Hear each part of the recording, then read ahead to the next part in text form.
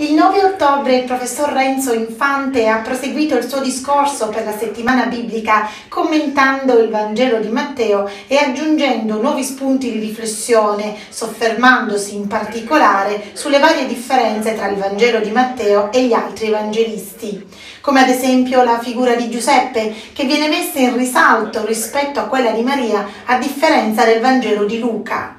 Matteo e Luca hanno scritto indipendentemente in due parti lontane, avendo però entrambi a disposizione il Vangelo di Marco, il più antico.